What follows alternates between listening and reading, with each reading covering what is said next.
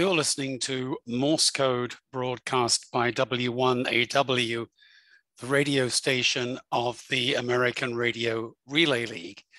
And I want to tell you a bit about my journey into ham radio to start this series of brief lectures. This is a copy of my ham radio mentor, Ron Allen G2 DSP. The G prefix means a United Kingdom call sign, specifically an English call sign. And Ron was a great pioneer in UHF and VHF radio, as well as a lot of other things. I started out with uh, an interest in uh, electronics, building crystal sets when I was uh, about 10 or 11. And uh, in my teen years, I graduated to uh, building pirate radio transmitters. And you can see one such in the lower left corner of this uh, image here, using a venerable 807 vacuum tube. And uh, eventually, uh, so after spending a while emulating the then uh, radio stations like Radio Caroline and playing Beatles music over this, which I guess was audible for about a mile from my house, I uh, became legitimate, um, took the appropriate test for the equivalent of the technician license, and way back in 1965 was licensed as G8AWJ. My first year at university, I learned Morse, Morse code and got the call sign G3 in the UK, ZCE. So uh, those were the early days. I gave up on ham radio for many years on coming to the States, but relicensed again, getting an extra class license in the year 2000 as AC7FL. Well, having gotten rid of all my ham radio gear, uh, I didn't want to spend any money on the hobby. And so I built myself a little mint tin transceiver using scrap components. As you might imagine, these things run off a small battery and produce almost no power at all. But it just so happened that I was doing this around the time that the solar cycle had peaked and propagation on uh, 30 megahertz was really wonderful at times. And one of the first Morse code calls I put out from this little Altoids uh, tin transceiver uh, using a Morse code key had a station come back to me, me with what I thought was a French call sign. But actually it was a station in New Caledonia in the middle of the Pacific. And this contact was made with about two watts of power and a small wire under the eaves of the roof of my house. Going on to, to nowadays, uh, I recently became fascinated with moon bounce owing to the wonderful technology developed by Joe Taylor, K1JT. And so this uh, picture here, which is my QSL card, and I'll explain Q codes in a little minute, but this is the card used to confirm contacts shows a picture of my moon bounce um, array up in the background here, pointing over this um, little swimming pool uh, equipment wall. In the background, you can see another vertical antenna for lower frequency bands. So ham radio has another number of idiosyncratic phrases uh, that uh, can easily put uh, a newcomer off. They have a long history though. Down in the bottom right hand uh, of this slide, you see an early spark transmitters. These worked by generating uh, a very high voltage uh, spark across a gap. And then the uh, generated very broad band uh, radio signal was filtered a little bit by capacitors and inductors and coupled into a long wire antenna. And that was how the first Marconi transmitters worked. Well, of course, all they could do was to send Morse code. And so hence the dominance of Morse code in early radio. In order to make communications succinct, a code was developed for a number of the common exchanges. So if you want to call, put out a call to any station to answer you, the call is CQ. So if you're on phone, you'll say CQ, CQ, CQ, this is AC7FL calling CQ.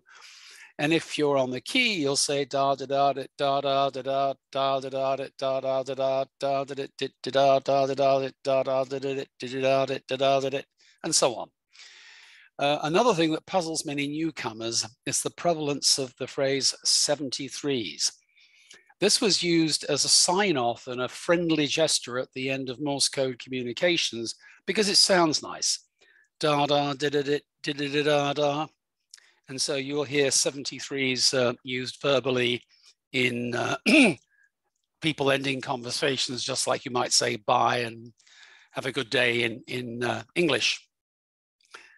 The Q code for what is your location, my location is, was QTH. So you'll hear people referring verbally to my QTH as my location. A contact was a QSO.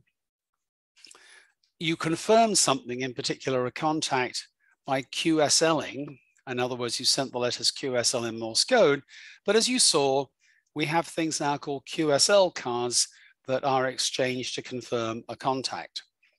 A couple of other examples are the request uh, that the sending station increase its power, QRO, or decrease it, QRP. So my little uh, transceiver in a mint tin uh, was a QRP transceiver, sending out less than five watts.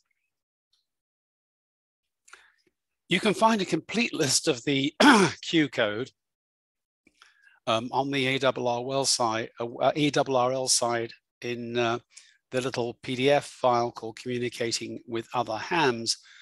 So some of the useful Q codes are QSY, please QSY, meaning please change your frequency. I'm going QRT, meaning I'm going to um, stop transmitting and going to bed generally. And then in, in, the same PDF file, you'll see the phonetic alphabet, which is very useful when communicating uh, by voice.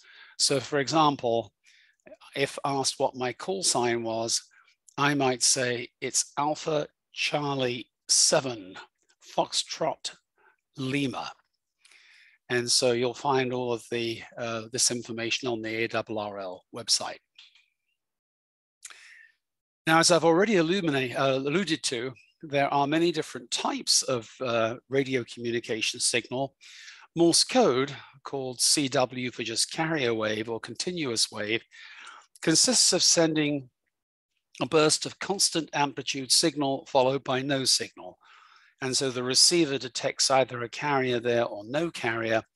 And an audio tone is generated by having a slightly different frequency generated inside the receiver so that the difference produces the audio tone you hear at the speaker. And as you heard in that uh, train of signals at the beginning uh, of this lecture. Amplitude modulation takes this carrier, so this waveform that has a constant amplitude at some frequency, and changes the amplitude with time, impressing the voice signal on it. Now you can see that the effect, of course, is to change both the up and the down amplitude.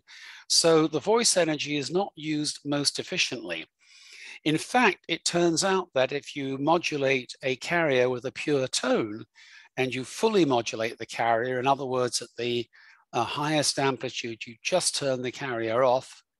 Um, then the about a third of the power is radiated in pure carrier, uh, a third of it in uh, frequency shifted upwards by the signal frequency, and a third of it by a signal shifted downwards by the signal frequency.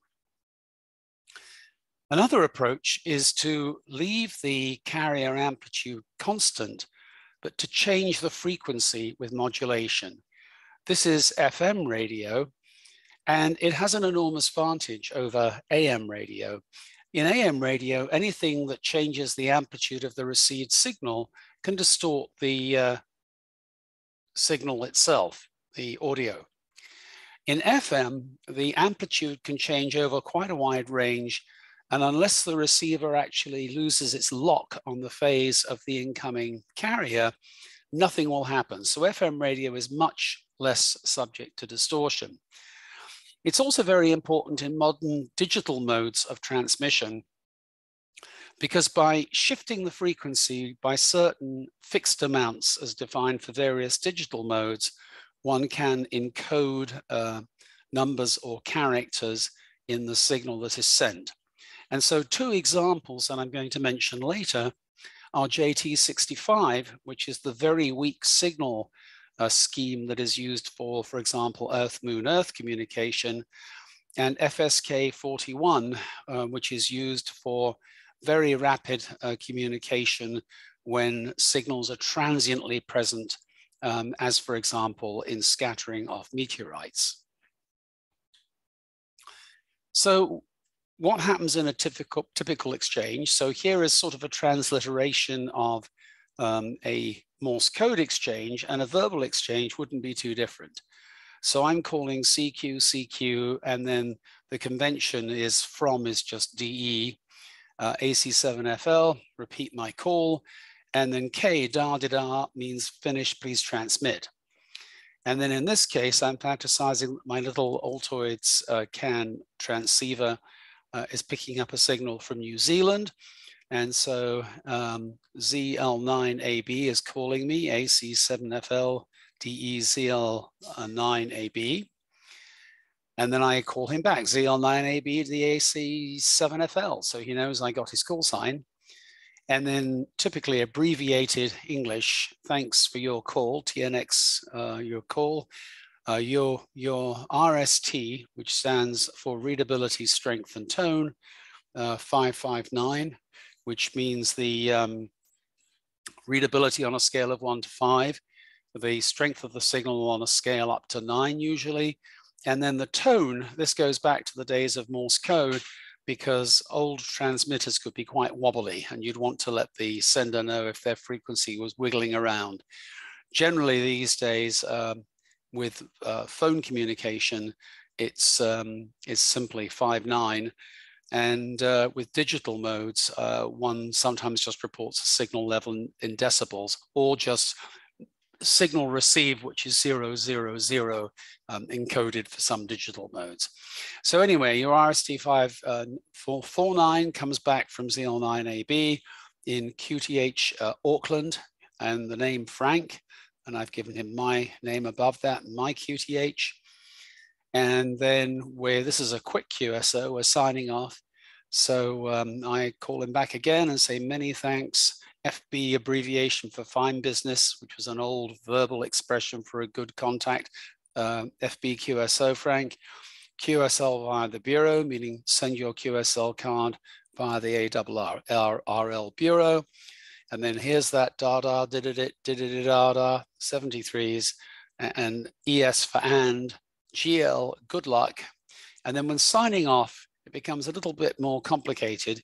You notice above that um, ZL9AB uh, signed their terminal transmission with ARK, da da da da da da da.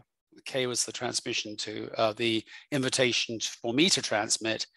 And then down below here, I sign off with AR, da da da da da, and then SK, da da da da da da, which means the end of the contact. And so he also sends many thanks for the QSO, 73s and da-da, da-da, da-da, da-da. da. So someone hearing the da da-da, da-da from him would know they could then call him because he's finished with me.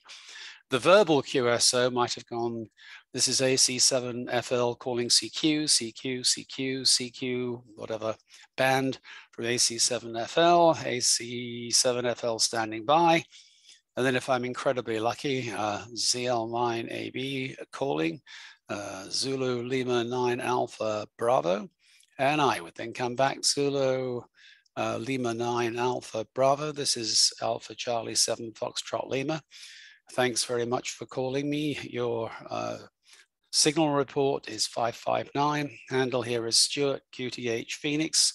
Um, so back to you. And then so on uh, in uh, normal English communication, except for all these strange Q code things. There are lots of things that hams um, get up to. Um, perhaps the most common is experimenting, or most common is experimenting with antennas. I don't know anybody who uh, can put up a standard antenna easily um, without playing in some way or the other to make it fit their apartment, their house, the patch of land they're on, so very common to uh, experiment with custom antennas. Uh, many of us build our own equipment, homebrew uh, rig, And uh, in particular, what I've done recently, because I've been teaching a class on using Python and the Arduino to carry out electronic experiments, is I ran my moon bounce station under the remote control of uh, an Arduino microprocessor uh, that in, control, in turn is controlled over the internet by a computer. That's enormous fun for anybody who enjoys uh, building things. Um, contests uh, for the competitive amongst you, uh, these are typically held over a weekend and the idea is to get as many contacts of a particular kind as, as possible. Uh, a variation on this is field day. It's a contest, but the idea is to take portable gear out into the woods. And uh, it's a fun excursion as well as a practice for operating without uh, mains power for emergencies. Fox hunts, where one uses direction finding to find hidden transmitters. I alluded to field day as being practice for emergencies. So hams uh, very typically provide uh, communication support during emergencies when there are power outages and so on, um, and support for events like uh, races and so on. Um, hunting DX, as it is, is called, is once again a Morse code abbreviation, meaning long distance uh, communication. And uh, so looking for rare um, countries or locations, or if you're on VHF, um, parts of the states you haven't worked before. And then you can get an awards like uh, Worked All States or DXCC, which is the DX Century Club for working 100 countries and having them confirmed with QSL cards. And then finally, uh, if you've got the time and the temperament for it, um, just hanging around and chewing the rag with um, other radio hams. So that's the introduction. Next, let's talk about some basic electronic principles.